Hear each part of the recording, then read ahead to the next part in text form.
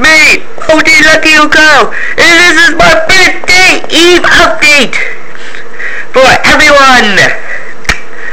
So yeah, first one is Season Boy might not come for a long time, oh, I don't know.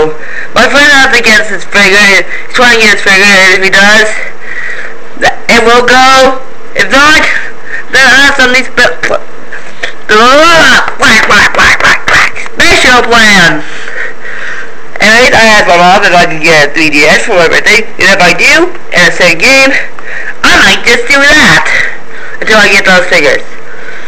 So yeah, tomorrow is my birthday, April 25th, when I post this. Probably April 24th, I don't know how long this takes. So yeah, hope you guys, I just want to tell you guys, anyways, see you guys later, bye.